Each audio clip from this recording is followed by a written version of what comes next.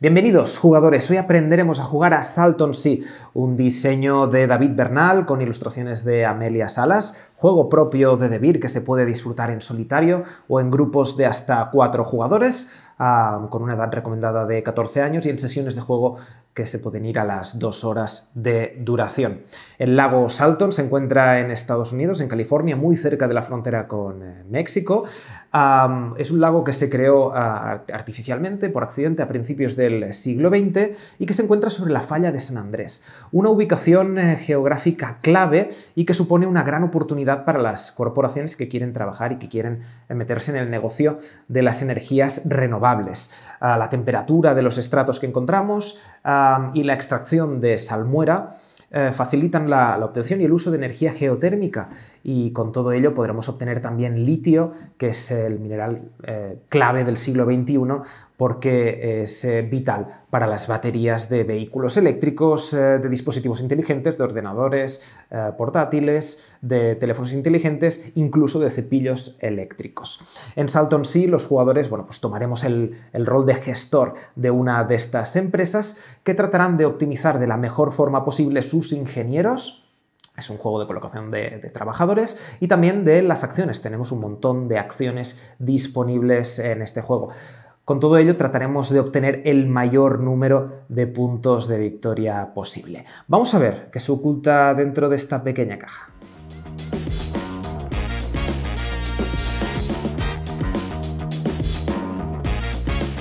Bien, pues aquí tenéis desplegado a Salton Sea.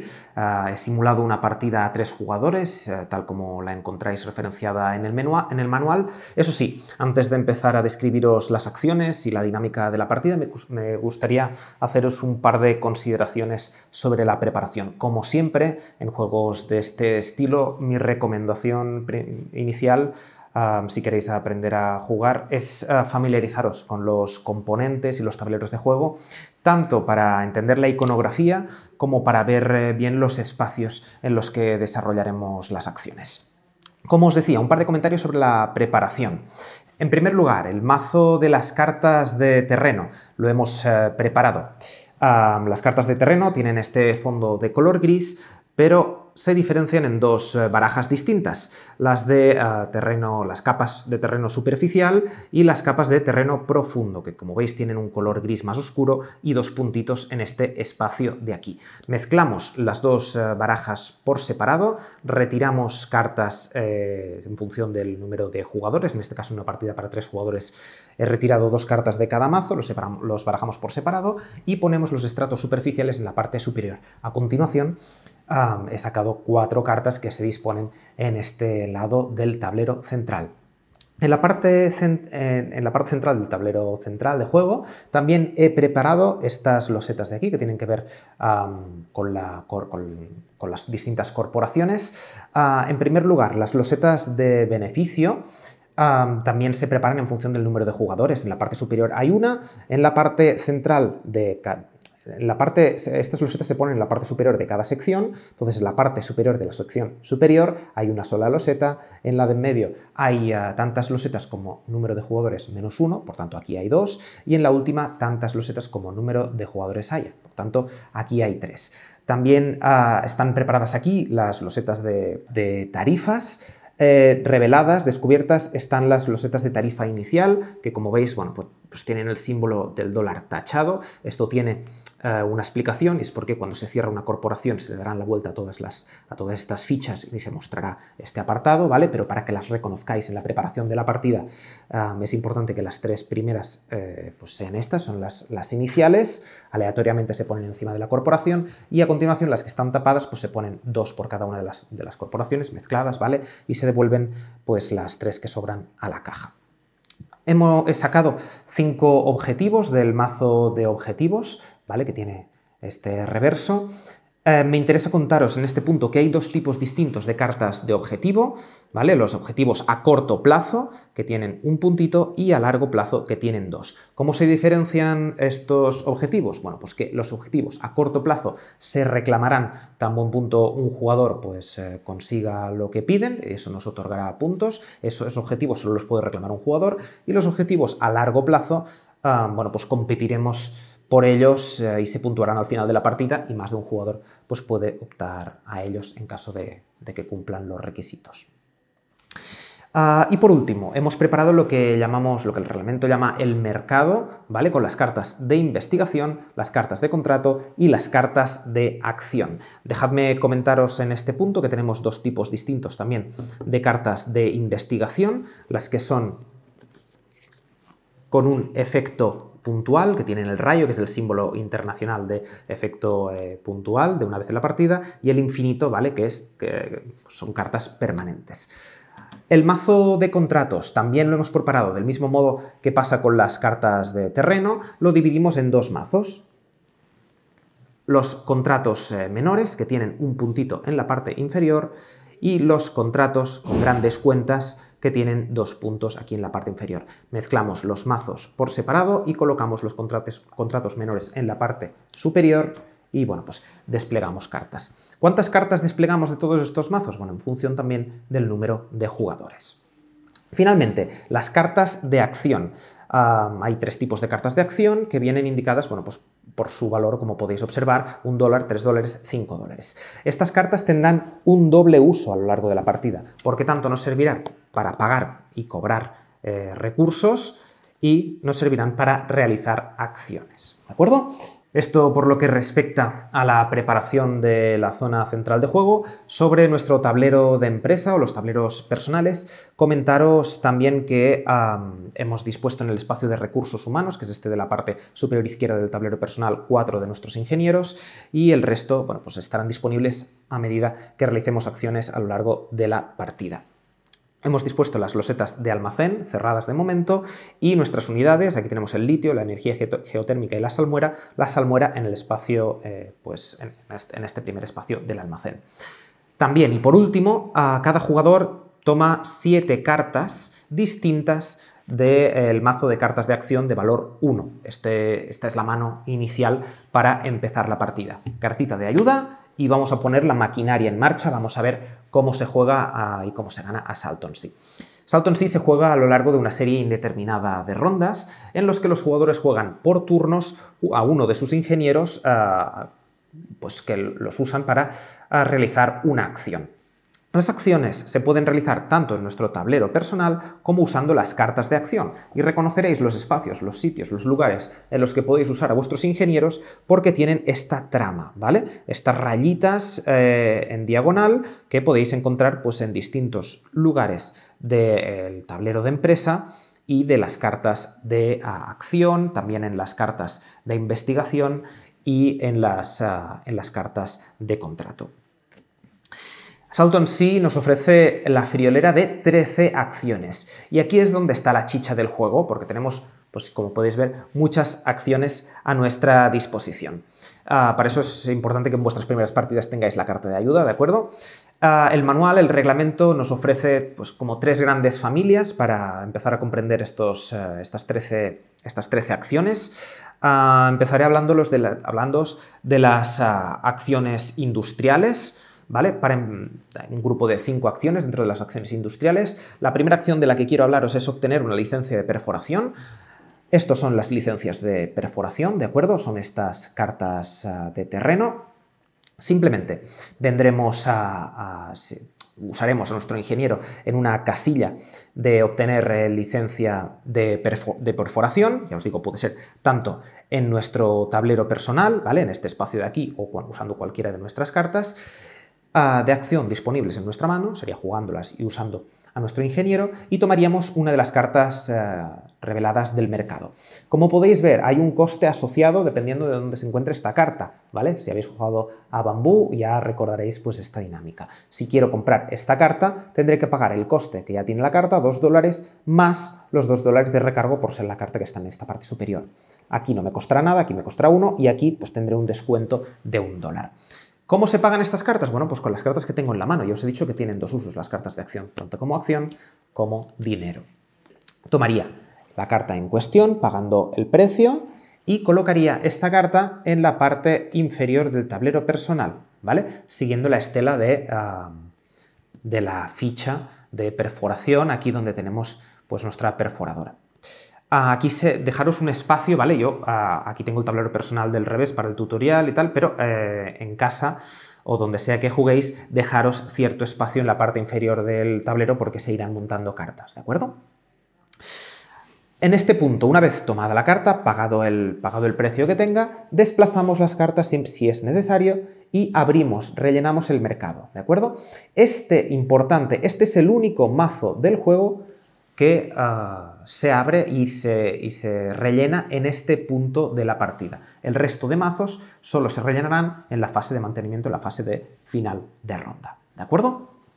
Esta es eh, la primera acción que os quería explicar de Salton Sea, obtener una licencia de perforación. La segunda acción industrial pues será perforar, ¿vale? Será mover a nuestra perforadora para, para bueno, empezar a conseguir beneficios en nuestra empresa. En este caso, de nuevo, usaremos uno de nuestros ingenieros disponibles en el espacio de recursos humanos, no, no en este espacio, en el espacio de recursos humanos, y pues llevaremos a cabo la acción de perforar. Esto lo que nos permite es bajar nuestra perforadora a tantos estratos como nos permita la acción. Víctor, ¿qué quiere decir esto de tantos espacios como nos permita la acción?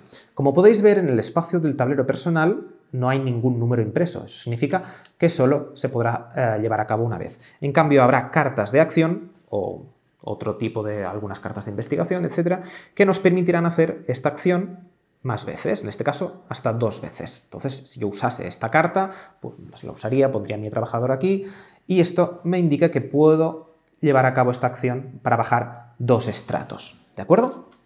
Entonces, nuestra perforadora baja y puede que nos encontremos piedras en el camino. ¿Qué significa encontrar piedras? Bueno, son obstáculos y son, eh, bueno, pues esto causa daños a nuestra perforadora.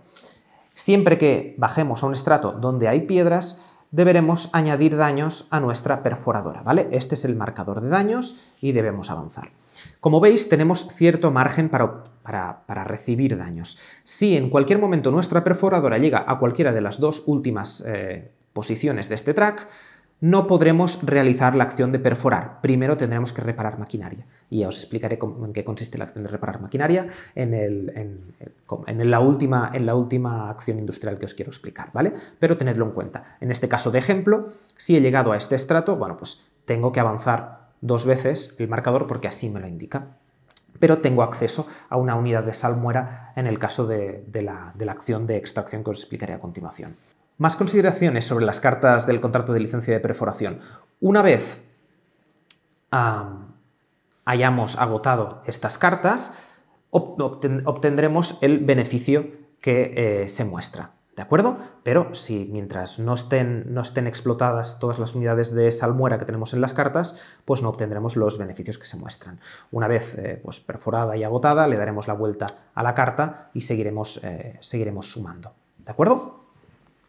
Esto por lo que respecta a la acción de perforación. La tercera acción del grupo industrial es la de extracción, ¿vale? Una vez perforados estratos, podemos llevar a cabo una acción de extracción. Eso nos permite pues, tomar la salmuera de los estratos a los que nuestra perforadora haya llegado o superado. Importante esto, no podemos extraer salmuera a la que nuestra perforadora no haya llegado. ¿De acuerdo? ¿Cuántas extracciones podemos llevar a cabo? Tantas como nos permita la acción, ¿vale? En este caso de ejemplo, ¿vale? Habríamos avanzado la maquinaria aquí, imaginaros que estamos aquí, podría extraer una unidad de salmuera porque es lo que me permite esta carta. Una vez extraída la salmuera, pondríamos una de estas fichas, ¿de acuerdo? De ah, terreno agotado para marcar que esta, esta unidad de salmuera pues ya está agotada. Importante, debemos tener espacio en nuestro almacén para poder ah, pues almacenar esta salmuera que, hemos extraído. En este caso, pues no habría espacio en el almacén porque empezamos la partida con la salmuera a 1, ¿vale? Imaginaros que lo hubiésemos gastado con las acciones que veréis a continuación. Bueno, pues en este caso, con esta salmuera gastada, podemos avanzar este marcador. Como os decía, una vez eh, toda la salmuera de una carta ha sido eh, extraída, devolvemos las fichas de terreno agotado, que hay un pool aquí para, disponible para todos los jugadores, y obtendríamos los beneficios, ahora sí, de la carta, en este caso, pues en forma de un avance en este marcador y seis puntos que sumaríamos en el track de puntos de victoria. ¿De acuerdo? Vamos con tres acciones del grupo industrial. La cuarta acción del grupo industrial sería, pues esta de aquí, la acción de procesar. Cuando llevamos a cabo la acción de procesar, podemos convertir nuestras unidades almacenadas de salmuera en unidades de mayor valor, que son unidades de, energía geotérmica o de eh, litio. En el caso que queramos hacer esta acción, pagaremos una unidad de salmuera y un coste en dólares según lo que queramos ah, obtener. Ya, veis que obtener litio es más caro, deberemos pagar 6 dólares y obtener energía eh, geotérmica nos costará 4. Siempre que hagamos la acción de procesar, podemos optimizar, ah, optimizar esta acción forzando la maquinaria. Independientemente de lo que hayamos eh, procesado, podemos forzar la maquinaria tres veces para obtener una nueva unidad de litio o dos para obtener em, energía geotérmica. Forzar la maquinaria implica subir en este track y como os podréis imaginar, em, esto puede provocar que la maquinaria se estropee, pero a veces en la partida eso pues, puede valer la pena. En caso de que la maquinaria esté estropeada, no podremos llevar a cabo la acción de procesar sin antes reparar la maquinaria. ¿Y en qué consiste reparar la maquinaria, que es la quinta acción del grupo industrial? Bueno, pues simplemente pondremos a nuestro ingeniero en, la, en eh, este apartado del tablero personal o de cualquiera de nuestras cartas y pues eh, pagando un coste podremos eh, reparar la maquinaria. Pagando 3 dólares podemos reparar bueno, pues, un mismo track o repartiendo los puntos como nos interese. En este caso, esta acción nos lo permite hacer dos veces. En el caso de que esto estuviese así, podríamos reparar cada uno de los tracks pues pagando el coste correspondiente. Os he, explicado las cinco acciones del grupo industrial. Vamos ahora con las acciones que el manual eh, nos agrupa como acciones eh, comerciales. Tenemos tres. La primera de ellas es vender. Con la acción de vender que, bueno, pues aquí tenéis la, iconografía concreta, ¿vale? Tenéis el símbolo del dólar. Con la acción vender usaremos uno de nuestros ingenieros en este espacio de aquí y podremos venderle pues, las unidades de recursos que hayamos producido en turnos anteriores. Las venderemos a una de las tres corporaciones que tenemos en el tablero central. Importante, solo a una. Podremos vender más de, una, más de, un recurso, según nos indique el poder de la acción que, llevamos a cabo, ¿vale? Aquí en el tablero es uno, pero las cartas nos permitirán vender más. Y importante, siempre solo a una sola corporación. Como veis, las losetas de tarifas indican tarifas distintas para cada uno de los recursos. Restaremos los recursos que queramos vender, cobraremos de la reserva. Importante, en el momento de cobrar se tomarán las cartas que estén reveladas y las cartas que se hayan descartado en pagos previos. Nunca se tomarán cartas de estos mazos. Nunca no, porque se podrá hacer con la acción de financiarse, que os contaré más tarde. Pero en este punto, ¿vale? En el punto en el que tengáis que cobrar por haber vendido recursos, por haber hecho la acción de vender, tened en cuenta que se tomarán cartas de aquí y cartas de los descartes. ¿De acuerdo? Hasta completar el valor pues, con, con 1, 3 y 5. Siempre que se vende a una corporación, el indicador de activos financieros de esa corporación aumenta un espacio. Aumenta siempre un espacio independientemente de que vendamos uno o más, ¿vale? O sea que vendiendo dos en esta corporación, esto solo aumentaría uno. Este indicador es importante porque irá aumentando y en el momento en el que pase a través de un icono de loseta de valor de venta, habrá que actualizar las tarifas y para actualizar las tarifas abriremos una loseta de las que hay en la parte superior y bueno, pues se actualizarán las tarifas, ¿de acuerdo? Esto pasará pues dos veces, porque pasará este indicador, pasará dos veces por este marcador de aquí. En el caso de que este indicador llegue arriba de todo el track, esa corporación queda cerrada. ¿Qué quiere decir que queda cerrada? Bueno, pues que ningún otro jugador podrá eh, vender a esta corporación y pues, pues se, representa con este símbolo del, dólar tachado. ¿De acuerdo? Esto por lo que respecta a la acción de vender. Las dos siguientes acciones de este grupo de acciones comerciales tienen que ver con adquirir un contrato y con ejecutarlo. Adquirir un contrato nos eh, permite eh, tomar una de las cartas disponibles de este track aquí acuerdo? Pues tomaremos un contrato y lo dispondremos en esta parte superior izquierda de nuestro tablero de empresa, de nuestro tablero personal. Los contratos permanecen aquí hasta que se ejecutan, con lo cual pensadlo muy bien antes de tomar un contrato, porque al finalizar la partida los contratos no ejecutados nos penalizarán con puntos negativos. Y esto me lleva a hablaros eh, de la última acción comercial que tiene que ver con ejecutar un contrato. Para ejecutar un contrato usaremos a nuestro ingeniero y lo pondremos bueno, pues encima de la carta de contrato y bueno, pues deberemos pagar los recursos eh, que nos pida pues ese contrato ya veis que se parece mucho a la acción de vender porque simplemente pagaremos los recursos que habremos generado en turnos anteriores y tomaremos los beneficios que nos indique la carta. Pues en este caso, 2 dólares, 6 puntos de victoria y un avance en el track de desarrollo de la empresa. Estas cartas no las descartéis, dejadlas a un lado de vuestro tablero personal porque puede que al finalizar la partida os interese contabilizarlas porque puede que os den puntos al finalizar la partida. Y por último, eh, el último grupo de acciones que nos, eh, que nos eh, así nos lo agrupa el reglamento, el manual, son las acciones de gestión. De gestión. En este grupo, ah, lo primero que podemos hacer es investigar. Para hacer la acción de investigar, tomaremos a nuestro ingeniero del espacio de recursos humanos. no me lo tengáis en cuenta si en algún momento lo he tocado de, los, los, he tomado de este marcador, ¿de acuerdo? Siempre tienen que ser los trabajadores disponibles lo usaremos para investigar y tomaremos una de las cartas que estén disponibles en el mercado eh, en esta ronda. Como os decía antes en la preparación, tenemos dos tipos de cartas. Las de efecto inmediato, que nos dan una acción que podremos usar en cualquier momento de, nuestra partida, pero que solo se podrán usar una vez y una vez usadas desaparecerán de, nuestro espacio del tablero personal e irán a parar al, a una reserva para el final de la partida para ver si eso nos da puntos, y las permanentes con el símbolo de infinito que sí que se quedan en este espacio. Las cartas de investigación se ponen en este espacio de la parte superior derecha de nuestro tablero de juego, y a medida que vayamos abriendo eh, espacios en nuestro almacén, tendremos espacio en la parte superior. La colocación de, estos, eh, de, estas cartas de investigación es importante porque al final de la partida eh, las cartas permanentes que queden nos darán tantos puntos multiplicados pues, eh, por, el espacio que ocupen en el mercado. ¿De acuerdo? Como os decía, bueno, pues tenemos dos cartas distintas. Si es una carta de acción, pues la tendremos aquí, la podremos usar, y si es permanente nos dará un beneficio permanente a lo largo de la partida. Sabed también que las cartas de investigación tienen un coste que deberemos pagar cuando lo obtenemos, debemos tener espacio en nuestro almacén, si no tenemos espacio en este, este punto de nuestro tablero personal, aunque podamos pagar su coste, no podremos obtener estas cartas, y en algunos casos hay un beneficio asociado, que también veis en la parte superior, y que obtendremos tan, tan pronto como paguemos el coste y coloquemos estas cartas en nuestro tablero personal. ¿De acuerdo?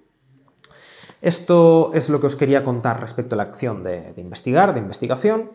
La siguiente acción eh, sería la de comprar participaciones, ¿vale? Vamos a invertir en bolsa, vamos a comprar participaciones ah, de una corporación.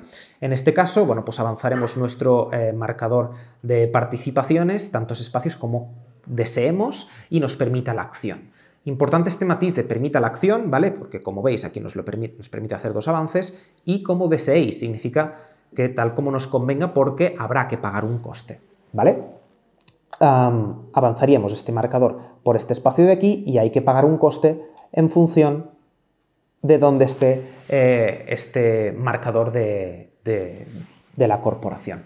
Hay una restricción a la hora de hacer esta acción y es que este marcador nunca podrá ascender de una sección si este indicador de valores no ha avanzado tan bien por esa sección.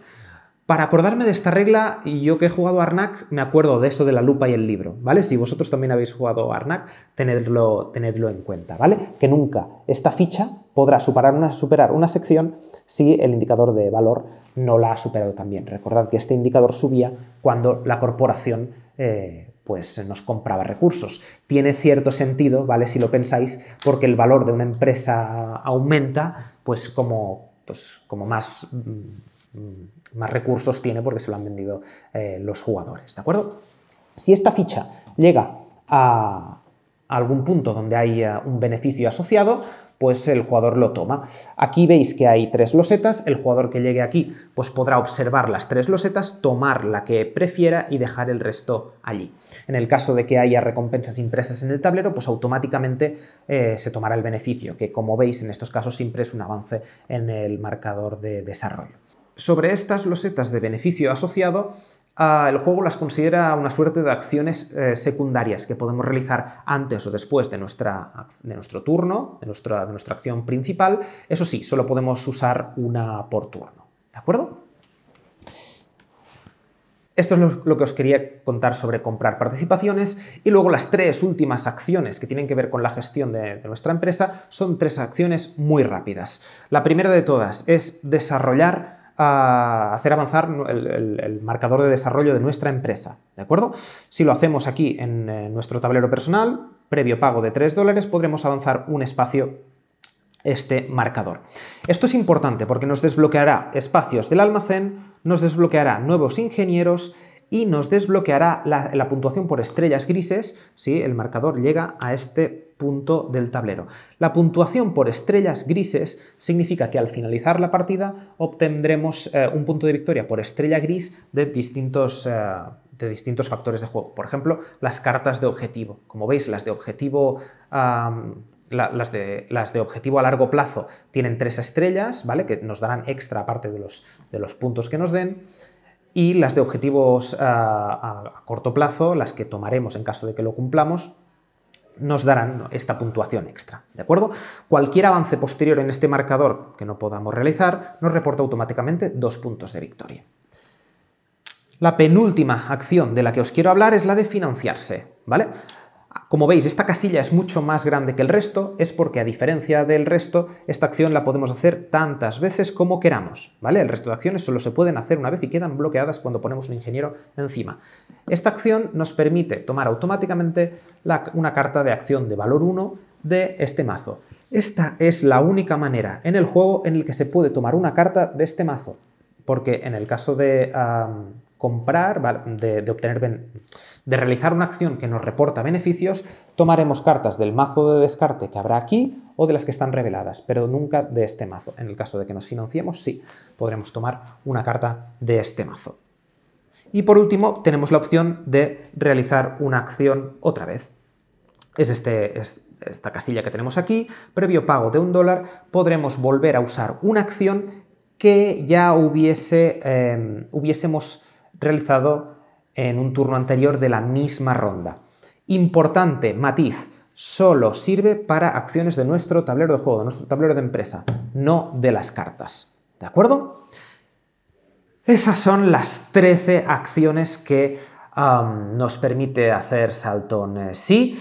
la partida se desarrollará a lo largo uh, de, una serie indeterminada de rondas. Vamos a ver eh, qué pasa cuando se acaba una ronda, cómo funciona el mantenimiento y cómo se desencadena el final de partida.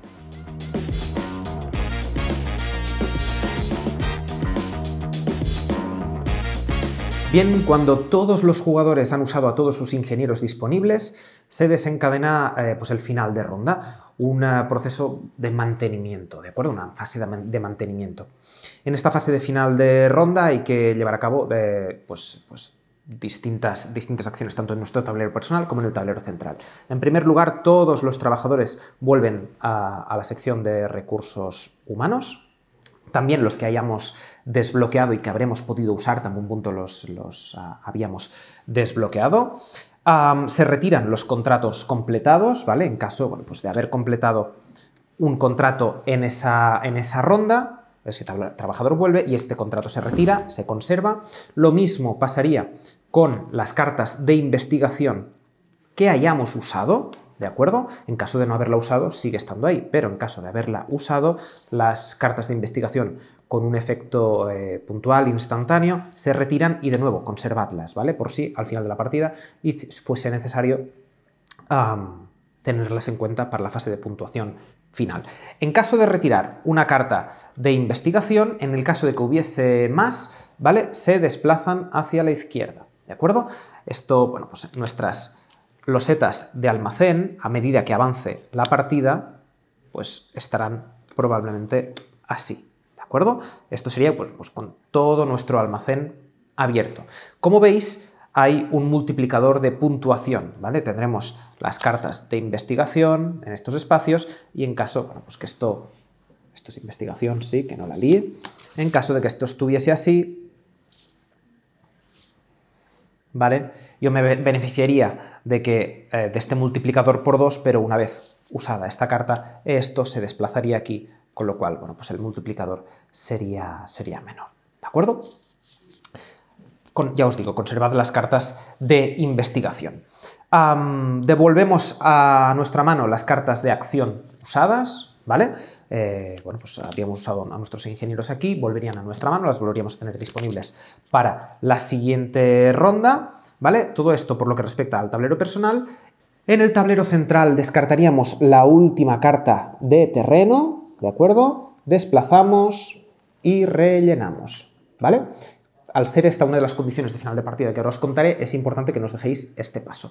Y también en el mercado, la última carta de más a la derecha se descarta, se mueven todas las cartas y se rellena en función del número de jugadores, mismo número de cartas que en la preparación, ¿de acuerdo? En este caso una partida de tres jugadores, pues serían 5, ¿vale? Porque es más 2, ¿vale? Añadiríamos una carta aquí. También descartaríamos las ah, cartas de acción, ¿vale? Las de dinero, con las que hubiésemos realizado un pago, ¿vale? Ah, y en este caso se pondrían en la parte inferior de los mazos de acción. Esto sería todo lo, que, lo correspondiente a una fase final de ronda cualquiera. Sin embargo, si en la ronda inmediatamente anterior se ha desencadenado uno de los dos factores de final de partida, aquí se desencadenaría pues, una fase final de partida. ¿Y cuáles son estas dos condiciones de final de, partida? Uno, que se agote este mazo, que se haya agotado en, este, en esta ronda anterior. Dos, que hubiese dos corporaciones cerradas al finalizar la ronda anterior. ¿De acuerdo? Es decir, que dos corporaciones estuviesen así con este marcador aquí, por supuesto, ¿vale? En este caso, o en este, o en este, se acaba la partida. Y en el caso de que se acabe la partida, una vez hecha la fase de final de ronda, es decir, vuelven las cartas de acción a nuestra mano, las cartas de investigación eh, se van, los contratos cumplidos eh, se descartan, etc., hay que eh, sumar puntos, los puntos de final de partida. ¿Y qué conceptos sumamos o nos restamos puntos? Bueno, pues son los siguientes. En la fase de final de partida obtenemos puntos por seis factores distintos y restamos por dos. ¿Cuáles son estos seis factores? El primero es obtenemos ah, puntos de victoria por las cartas de acción que queden en nuestra mano, a razón de dos puntos de victoria por cada tres dólares. También ah, obtenemos puntos de victoria por eh, los recursos que nos queden en nuestro almacén.